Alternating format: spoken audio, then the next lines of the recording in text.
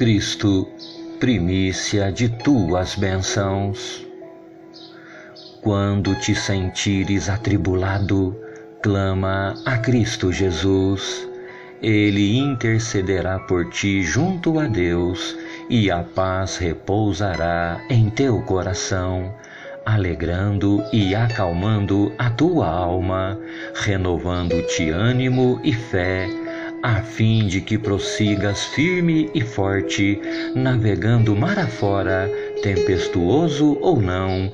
rumo ao porto da salvação, onde viverás a plena felicidade ao conheceres a face do Criador como ela é. Aqui neste mundo, somos constantemente cercados por grandes provas e tentações, contudo, Nunca devemos nos esquecer de uma coisa: estamos vivendo uma nova vida debaixo da graça e, consequentemente, orando e suplicando por auxílio, somos socorridos pelo Senhor,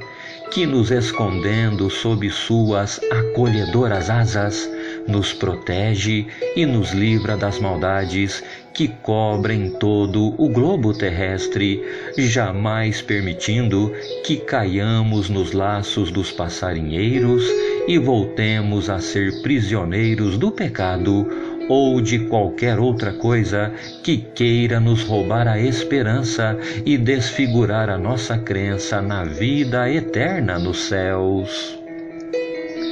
Nunca duvides do poder da oração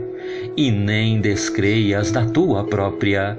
pois o formador de todas as coisas dotou-te de uma fé viva e verdadeira, aquela que é capaz de aterrorizar o príncipe das trevas, já ao dobrares o teu joelho em terra e glorificares ao Rei da Glória. Se não duvidares do dom que carregas contigo, o leão que ruge e avança contra ti, ainda hoje se calará e se encolherá, porque não estás ouvindo esta mensagem à toa.